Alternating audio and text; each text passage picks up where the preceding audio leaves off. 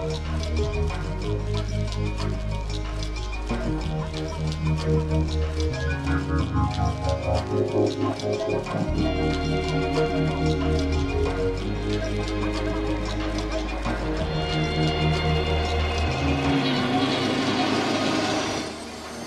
done something well and uh, they give you just desserts, they sing your song and that's, that's something that lasts forever.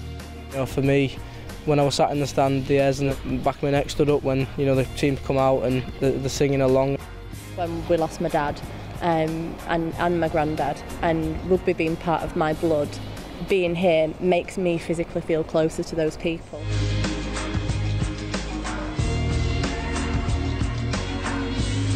It's the wall of noise players first see and hear as they leave the tunnel. Thousands of Rhinos fans have been shouting, cheering, and singing in this terrace since 1931. In 2017, it's the last stand for this proud structure, synonymous with the level of support enjoyed by the club and envied by the rest of Rugby League.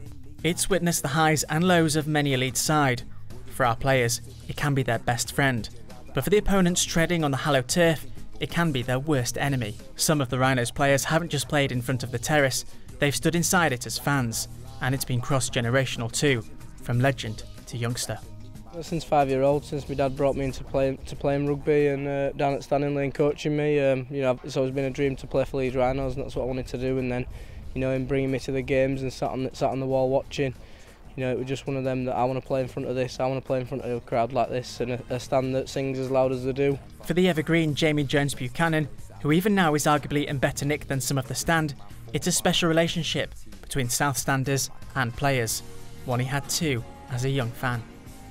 I used to be in there giving the stick as well. I remember once Kevin Iro missed a few tackles and uh, I made it my job to walk down the South Stand and tell him what I thought as a South Stander and uh, I remember him hearing what I was saying and I just pointed to my dad as if it was him um, and that's what you do so I've had it the boot on both feet. But let us not forget that it's a family stand too.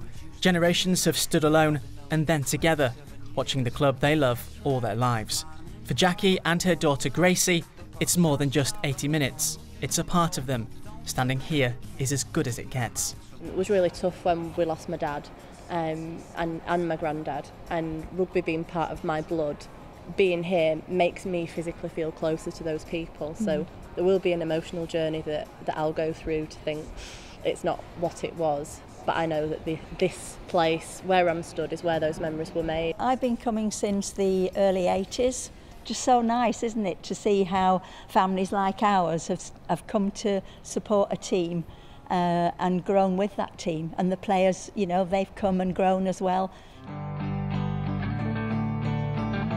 Thousands of fans have stood here, and tomorrow will be the last chance to say goodbye.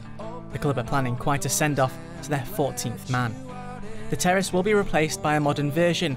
Fans and players vow it won't change the atmosphere here and though the steel will go and railings will be dismantled, the memories will last forever.